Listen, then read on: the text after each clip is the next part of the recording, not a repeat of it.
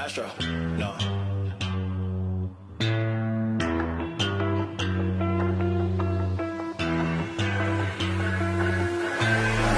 What you know about rolling down in the deep? When your brain goes numb, you can call that mental freeze. When these people talk too much, put that shit in slow motion. Yeah, I feel like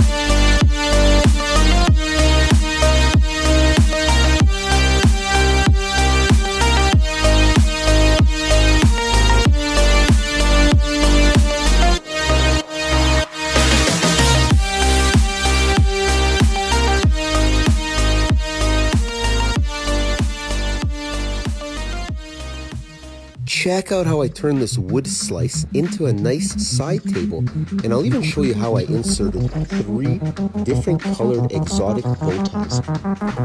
Now this piece has been drying for quite some time, so it was ready. Then I went ahead and cleaned out the large crack that formed during drying.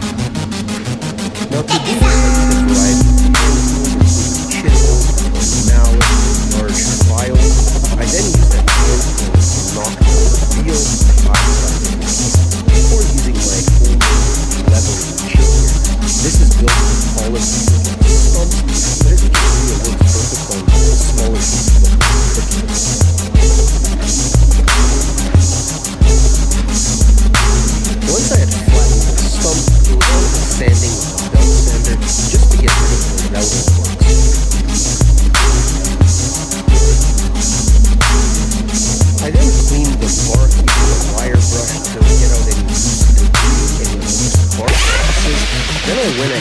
sanded the entire stump and further cleaned it out ready for bow ties.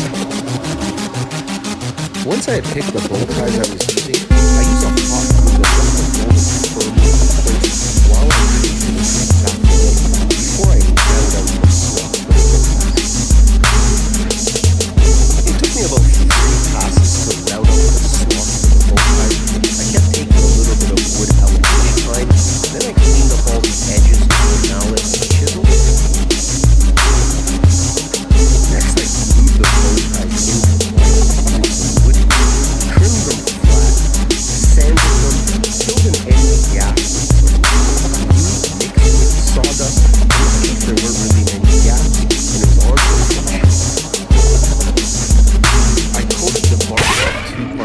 epoxy in hopes of keeping it attached to the wood.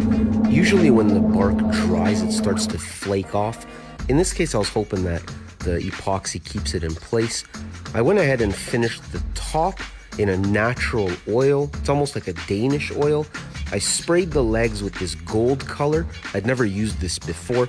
Attached it just using some regular wood screws, and boom, the table is done.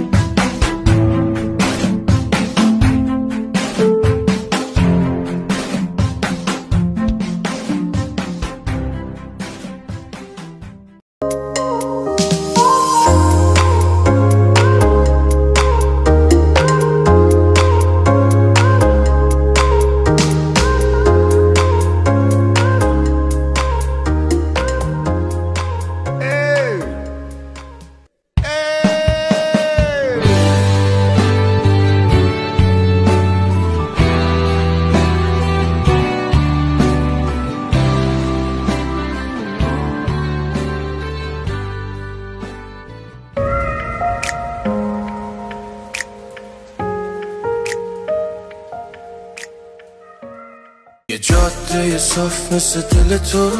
الان لازم همه با تو باشم بده قول ریش هوا بارون روی شونت. یه آفتاب بزنه رو گل روی گونت. آخ که چقدر با تو پشتم پره. راستی نگفتم چموت خوش رنگ شده نمی‌دونی چقدر دوست دارم تو رو. تو نمی‌دونی تا اومدی چه خبری شد و یه حال عجیبی با تو میپیچه تو ترم تو واسه منی حرف بزن بام دست بکش تو سرم.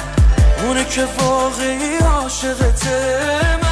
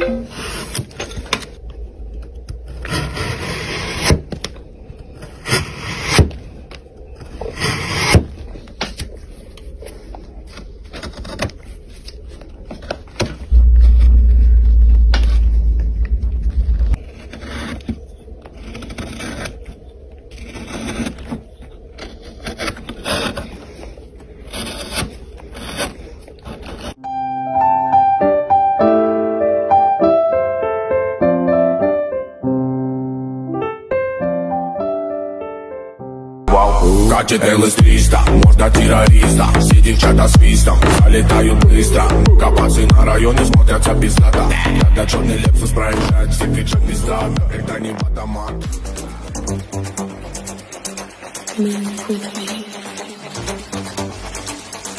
One, two, three, four.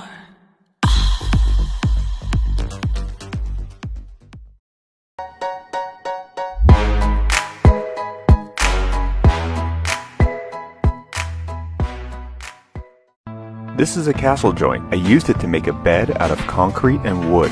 Majority of my castle fabrication experience comes from playing with Lego. It's quite easy to make really awesome castles out of Lego bricks, but you need a lot of them, and they can be expensive. Over the years, I've experimented with different ways to translate Lego creations into permanent materials like concrete or metal. Sure, these techniques create a nice kitschy aesthetic. This certainly appeals to my nostalgia, but what I really find important about this process is that I have a way to precisely prototype 3D objects without sitting at a computer or dealing with the hassles of 3D printing. If you have an idea that you can make out of Lego bricks, it's not that hard to make silicone molds, and you can start a product line out of concrete, epoxy, or even metal. I enjoy my work, so I don't really make much of a distinction between toys and tools. And I hope young designers realize that you don't have to wait till you get the right professional grade equipment to get started on experimenting and making.